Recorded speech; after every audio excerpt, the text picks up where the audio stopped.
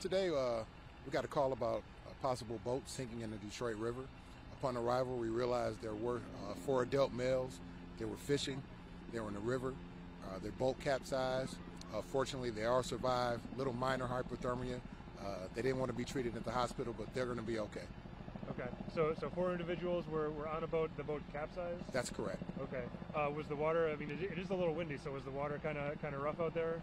Uh, it's a little bit choppy, but uh, I'm not sure on the circumstances why it sank. But uh, we're just thankful that they made it out. Yeah, and obviously, you know, it's it's getting colder. The water's probably getting cold, so I'm, I'm sure time was a was a was a big factor here. Uh, that's correct. They were very fortunate, uh, very lucky that people were nearby and able to rescue. Was it another? Other boats nearby that, that, that saw them, or, or There how, were. How did, how did they get pulled out? There were. Uh, thank uh, goodness, uh, Bridging North America would happen to be just close by and pulled them on out.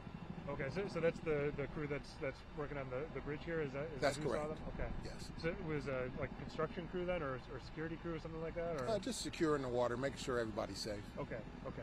And so it was, it was people on, on shore that, that saw that saw it happen and, and were able to help them. Is that is that? Uh, we're still investigating that. We're not sure, but uh, like I said, we're just thankful that they survived this. Could have been a lot worse.